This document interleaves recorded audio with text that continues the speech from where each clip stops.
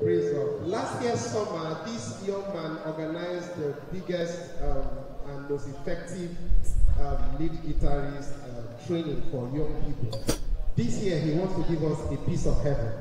With Jesus joining our heart, can we welcome this beautiful brother the Promzy as it be a blessing to us? Hallelujah.